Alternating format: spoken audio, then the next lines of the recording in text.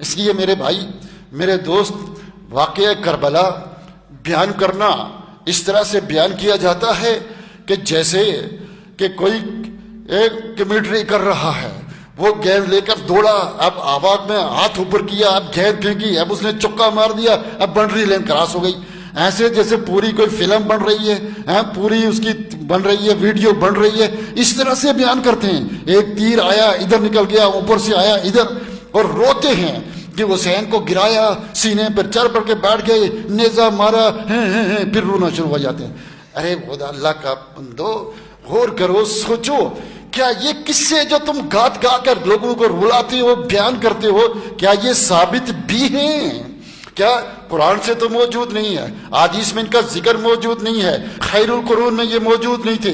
खैरुल कुरून में, यानी साहबा खुलफा राशिदीन का जमाना गुजर गया, बनु मैया का जमाना गुजर गया 132 में उनकी हुकूमत खत्म हो जाती है। फिर बनुल अब्बास का जमाना आता है। बनुल अब्बास के तीन जमाने, एक सबसे बेहतरीन, एक मुतवसित और एक बदतरीन जमाना।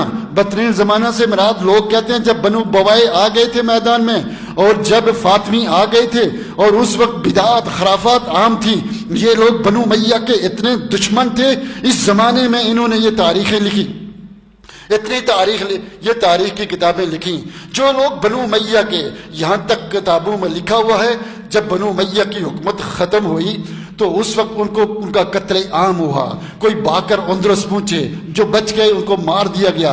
यहाँ तक कि वो जब मर रहे थे, उनके सत्तर वो कैदी थे जब वो मर रहे थे तो उनके ऊपर दस्तरखान बचाकर खाना खाया गया। जब इनसे फारिग हुए तो जो मर गए थे, उनकी हड्डियों को निकाल के जलाया गया। शाम बिन अब्दुल मलिक की जो कब्र को खोला, कहते हैं, उसकी कब्र बिल्कुल तरोताज़ा थी। इस फरमाया, क्या करें? इसको भी जलाएँ या ना जलाएँ? इख्तलाफ हुआ, आखिर में यही फैसला होगा, इसको भी जला दें। जो लोग इतने दुश्मन थे, वो बनु मैया के बारे में क्या तारीख लिखेंगे मेरे भाई मेरे दोस्त, असल में मुझे नहीं पता, ये किताबें, बातें जो बता रहा हूँ, ये तारीख में लिखी हुई सही गलत मेरा रब जानता है, मुझे नहीं मालूम। मैं उस ज़माने में नहीं था। ये तारीख की किताबों में लिखा हुआ, इसलिए आपके सामने मैं रख रहा हूँ। अब सवाल ये पैदा होता है कि जो लोग बनु मैया के इतने दुश्मन हैं, साहबा के इतने दुश्मन हैं, वो जब तारीख लिखेंगे तो क्या लिखेंगे? अब ज़रा आइए गौर से सुनिएगा, जो तारीख ये लिखते हैं, वो तारीख जो इन्होंने लिखी है, चाहे वो सुन्नी है या गैर सुन्नी है, वो चाहे तारीख तबरी वाले हैं या बलाजरी या तीनूरी या मसूदी या याकूबी, जो भी है, जो जिसने तारीख, पहली बात वो साबित नहीं, लेकिन जो मौजूद है, ज़रा उसकी तरफ़ आते हैं। सबसे पहले जब उस्मान रदी अल्लाह तह को शहीद कर दिया गया उसको शहीद करने वाले कौन थे? वो यहूदी थे, इबन सबा लोग थे, या वो मजूसी थे। उन लोगों ने ये जो सात सौ मिस्र से आए थे, सात सौ बसरा से, सात सौ कोफा से आए थे, आपको शहीद कर दिए या शहीद कर दिया गया। उसके बाद अली रज़ी अल्लाह तु की बैत हो गई। उसके बाद अली रज़ी अल्लाह तह के दरमियान है और आशा सदी का जंग जमल हुई, जिसमें तला और ज़ुबैर कत्ल हो गए। थोड़ा सा मेरे साथ चलिएगा, मैं इशारतन बात कर रहा हूँ।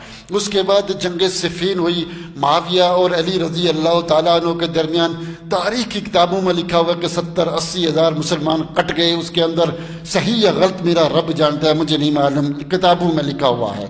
उसके बाद मसला तहकीम हुआ कि एक आदमी इधर से, एक आदमी इधर से जंग बंद कर दी जाए। अबू मूसा अशारी इस तरफ़ से, अमर बिन उस तरफ़ से, ये जो फैसला करेंगे वो मंजूर हुआ। तो अबू मूसा अशारी ने यह फैसला किया कि दोनों को माजूल में करता हूँ, मुसलमान अपना किसी तीसरे आदमी को खलीफा बना लें। और उसके बाद अमर बिन आस आए, उन्होंने कहा कि अबू मूसा अशरी के मैं साथ हूँ, किसमें? अली रज़ी अल्लाह तु को माजूल करने में, जहाँ तक माविया का तल्लक है, माविया तो खलीफा नहीं था, हम तो किसास के मुद्दाई हैं। तो लिहाजा अब मैं उनको खलीफा बनाता हूँ। मैं उनको खलीफा, इस पर इख्तलाफ हुआ, इस फैसले को अली ने कबूल न किया। उसके बाद माविया रज़ी अल्लाह तु अपने आप को खलीफा कहते थे। उससे पहले खलीफा नहीं कहते थे। फिर उसके बाद क्या हुआ? खारजियों के साथ जंग हुई मार के नारवान हुआ, अली रज़ी अल्लाह तु उन पर गालिब हुए। फिर उसके बाद आपस में जंगें शुरू हुई, किसके? माविया और अली रज़ी अल्लाह तु के दरमियान। जिन्होंने तारीख पढ़ी है, वो समझते होंगे, बाकी ज़रा मेरे साथ चले, मैं अपनी जगह पर आता हूँ। जब आपस में जंगें हुई तो मुसलमानों की खिलाफत को दो हिस्सों में चालीस हिजरी में तकसीम किया गया। मिसर, शाम, मगरब के इलाके, ये माविया रज़ी अल्लाह तु को दिए गए कि आप खलीफा है इन इन इलाकों के। अली रज़ी अल्लाह तनो को खरासान कोफा, बसरा और हिजाज दिया गया कि आप खलीफा हैं इसके, लेकिन आपस में जंग बंद कर दी जाए। तो जंग बंद हो गई तो मुसलमान ममलकत के दो खलीफा बने, एक माविया और एक अली रज़ी अल्लाह तन फिर अली रज़ी अल्लाह तु को खारजियों ने शहीद कर दिया। उनकी शहादत के बाद उनके बेटे खलीफा बने। जब वो बेटे खलीफा बने तो माविया और उनके दरमियान जंग होने लगी। तो जंग के दौरान क्या किया? हसन रज़ी अल्लाह तला उनके हाथ में बैठ गए। और फिर माविया रज़ी अल्लाह तला ने हुकूमत की बीस साल। और फिर 20 साल में मुगीरा बिन शोबा ने इक्यावन या बावन हिजरी में माविया रज़ी अल्लाह तु के पास गए।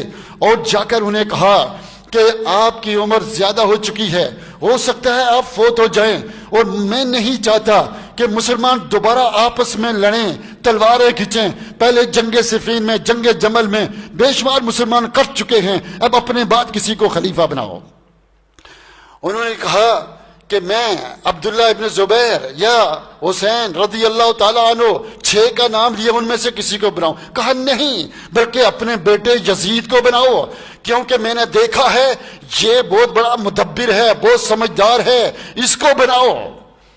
मैं तजर्बा कर चुका हूँ, जंगों के अंदर फतवात इसके कमाल जहानत को देख चुका हूँ। मुगीरा बिन शोबा साहब ये रसूल हैं, जिनको मुदब्बिर अरब कहते हैं। वो माविया रज़ी अल्लाह तु के पास गए, कूफा से चलकर वहाँ गए। अपनी आखिरी उम्र में कि मुसलमानों में दोबारा इख्तलाफ ना हो, अपने बेटे को बनाओ। कहा, फिर इसका मशुरा करें। मैं लंबी बात नहीं करता बनना बड़ी लंबी तफसील है कि मशुरा किया जाए हाँ, वह अमर हम बई ना हम बिशूरा कि शूरा के ज़रिए। और मैं आपको ये बता दूँ कि जिस तरीके से माविया जिस तरीके से यजीद बिन माविया की बैत हुई है इस तरीके से किसी उससे पहले किसी की बैत नहीं हुई। अबू बकर सद्दीक की बैत हुई सिर्फ़ क्या है सकीफा बनी सादा में चंद लोगों ने बैत की थी बैत आमा बाद में हुई। उसके बाद उमर रज़ी अल्लाह तु के बारे में कोई शूरा वूरा लंबी नहीं थी। अबू बकर सद्दीक ने खुद ही खलीफा बना दिया। और फिर उमर रज़ी अल्लाह तु ने छह आदमियों को चुना। कहा इनमें से किसी एक को चुन लेना। उस्मान कैसे खलीफा बने, आपको पता है। छह आदमियों में से उनको चुना गया। अली रज़ी अल्लाह तु को दो आदमियों ने खलीफा बनाया। बेशुमार लोगों ने बैत ही नहीं की। माविया रज़ी अल्लाह तु को कई लोगों ने बहुत बाद में जाकर खलीफा बनाया। लेकिन एक यजीद बिन माविया ऐसे शख्स थे, जब उनके वली अहद की बैत ली गई, मुसलमानों में से कोई मुसलमान ऐसा नहीं बचा था, जिसने उसकी वली अहद की बैत नहीं की थी। और जब माविया रज़ी अल्लाह तु फोत हो गए, सारी दुनिया ने उनकी बैत की, सिर्फ़ दो आदमियों ने। एक हुसैन रज़ी अल्लाह तु एक अब्दुल्ला इबन जुबैर। एक हुसैन रज़ी अल्लाह तु और एक अब्दुल्ला इबन जुबैर। इन दो ने बैत नहीं की। कहते हैं, जी, बड़ा जुल्म हो गया है। कि बाप ने बेटे को खलीफा बना दिया। मेरे भाई मेरे दोस्त कभी ठंडे दिल से सोचना कुरान की अलहमद से लेकर वन्नास तक है। कौन सी आयत में लिखा हुआ है कि बाप के बाद बेटा खलीफा नहीं बन सकता? आ, सारी जखीरा हदीस में से मुत्ता इमाम मालिक से लेकर इबन माजा या उससे भी बाद कुतुब हदीस जखीरा हदीस से एक हदीस निकाल के दिखा दो जिसमें यह लिखा हो कि बाप के बाद बेटा खलीफा नहीं बन सकता। अगर बेटा अहल है खिलाफत के अहल है तो वो खलीफा बन सकता है, बन सकता है। अतः कि माविया रज़ी अल्लाह तु की दुआ मौजूद है कि वो कहते हैं, अल्लाह, अगर मैंने इसको इसलिए अपने बाद खलीफा बना रहा हूँ वली अहद बना रहा हूँ, इसलिए बना रहा हूँ कि ये मेरा बेटा है मुझे मोहब्बत की वजह से। अल्लाह तो इस बात को कभी पूरा ना होने दे, इसको खत्म कर दे, ये कभी खलीफा ना बने। और अगर अल्लाह मैं इसलिए को बना रहा हूँ, इसलिए कि मजलिस शुरा के लोग कहते हैं, और ये इसका मुस्तक है, इसका अहल है तो अल्लाह तू मेरी मदद कर। फिर बेटे से पूछा गया कि बेटा, अगर तुम्हें खिलाफत मिले तो कैसे हुकूमत करोगे? कहा, मैं ऐसे करूँगा जैसे उमर बिन खत्ताब ने की। जैसे उमर बिन खत्ताब ने की। कहा, मैं उस्मान के रास्ते पर चल नहीं सका। तुम उस्मान, उमर रज़ी अल्लाह तु के तरीके पर चलोगे। अल्लाह तुम्हें तोफीक दे। इसके अंदर सलाहियतें थी। यजीद बिन माविया के अंदर, काश हम पढ़ें, काश हम देखें, काश हम सोचें, आज हम वही कर रहे हैं जो सारी दुनिया कर रही है। सारी दुनिया, यहूद नसारा मुतफिक थे किस बात पर? कि ईसा को फांसी हो गई। यही कहते थे ना, फांसी इतफाक फांसी कब्र में चले गए। ईसाइयों ने कहा, कब्र से निकलकर आसमान पे चले गए। वो कहते हैं, जनाब, ये मलून था, इसलिए इसको फांसी दी गई नाउजुबिल्ला लेकिन कुरान आया, ईसा की शख्सियत को वाजे किया कि ईसा की शख्सियत क्या है? में रसुल है। वमा सलाबू वमा कतल हो क्योंकि फांसी नहीं हुई, कत्ल नहीं हुए। बर रफा इसलिए मेरे भाइयों, वो सारी दुनिया जो रोना रो रही है, पीट रही है। हकीकत में ऐसा नहीं है। वो शख्स काबिल था। बहरहाल जब हुसैन रदी अल्लाह तहो के पास बैत के लिए गए, उन्होंने कहा, मैं सुबह तक मुझे टाइम दें, मैं सुबह अलल ऐलान बैत करूँगा। फिर रातों रात वो मक्का चले आए। मक्का आए, किसी ने उन्हें नहीं कहा, बैत करें। मुसलमान बड़ा उनके एहतराम करते थे। इतना एहतराम करते थे कि जब तवाफ के लिए आते तो रास्ता साफ़ कर देते, यानी बैतुल्ला को खाली कर देते कि नबी वसल्लम का नवासा आया है, इतना एहतराम करते। बहरहाल कूफियों को जब पता चला, यहाँ से बात शुरू करने लगे कूफियों को जब पता चला कि हुसैन रदी अल्लाह तला ने बैत नहीं की उन्होंने कहा, बड़ा ज़बरदस्त जनाब मौका मिल गया। उन्होंने खत पे खत खत पे खत खत पे खत खत पे खत हुसैन रदी अल्लाह तु का लिख रहे हैं। अगर सिर्फ़ खतों पे बात करूँ, आधा घंटा मेरा और लग जाएगा। वो पढ़ते रहे पढ़ते रहे, जाते रहे, जाए, फिर मुस्लिम अकील को भेजा, जाके पता करके आओ। फिर निकले, रास्ते में पता चला, मुस्लिम अकील कत्ल हो गए। कहा, वापिस चलते हैं। कहा, नहीं, किसास के तौर पर चले। किसास नहीं, वो कत्ल हो गए, ना हक किसास के लिए गए, वहाँ खिलाफत लेने नहीं गए थे। किसास के लिए गए। पहले उनको धोखा दिया गया कि आइए हम खिलाफत के आप ज़्यादा मुस्तक हैं। आदम सलाम से भी गलती हो गई। शैतान ने वर्गलाया, जन्नत का फल खा लिया, फिर तोबा कर ली। हुसैन रदी अल्लाह तु भी इंसान थे। गलती उनसे हो गई, हैं, चले गए। बाद में तोबा कर ली, जब वहाँ पूछे। जब वहाँ पूछते हैं, देखते हैं वही कोफे वाले, जरा बात अब गौर से सुनना। वही कोफे वाले। क्या करते हैं? जो कह रहे थे, जनाब, आओ, हम आपको खलीफा बना रहे हैं बैद कर रहे हैं। वही तलवारें लेकर खड़े थे। कहा, तुम मेरे खिलाफ क्यों खड़े हो? तुमने तो मुझे बुलाया। ये खतूत ये खतूत ये खतूत। कहने लगे, नहीं जनाब, हमने नहीं लिखे खत इनकार। और खुद हुसैन रदी अल्लाह तला ने कहा और ये किताब तारीख की, ये बातें तारीख की सारी किताबों में मौजूद हैं कि ये शिया जो हैं इन हम कातिली कि ये मुझे कत्ल करके ही छोड़ेंगे। इन्होंने मुझे भाने से बुला ये कत्ल करके ही छोड़ेंगे। अब हुसैन रदी अल्लाह तु खुद उनके तेवर देखकर उनके अंदाज देखकर किताबों में इनके लिखा हुआ है कि ये मुझे कत्ल करके ही छोड़ेंगे। ये मेरे दुश्मन हैं। इधर उबैदुल्ला बिन जियाद को जब पता चला कि हुसैन रदी अल्लाह तु आ रहे हैं, उन्होंने उनको कोफा के बाहर रुकने को कहा। क्योंकि अंदर आके बैत करेंगे, लोग करेंगे, तमाशा बनेगा, फसाद होगा, उनको बाहर रोका। और भेजा किसको? भेजा उमर बिन साद को।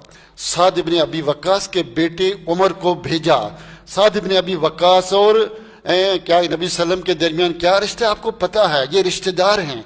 इसलिए उमर बिन साद को भेजा, वो फौज का सिपा सलार था कि जाओ जाकर उनको समझाओ। वो गए, समझाए बात, मुख्तसर खुलासा, उन्होंने तीन शर्तें पेश की। एक कि मुझे वापस जाने दिया जाए, या मुसलमानों की किसी करारे फौज में भेज दिया जाए, मैं वहाँ लड़ता हुआ शहीद हो जाऊँ, या मुझे दमश्क में भेज दिया जाए। हत्ता आजाओ यदि फ़ी यदि यजीद अबन माविया ताकि मैं अपना हाथ यजीद बिन माविया के हाथ पे रखूँ। फिर ये उन्होंने भेजा किस पर? उबैदुल्ला इबन जियाद की तरफ़। और उन्होंने कहा, अल्हम्दुलिल्लाह, अल्लाह का शुक्र है। उनको भेजो किसकी तरफ़? दमश में। वहाँ भेज दो। अब वो चले गए।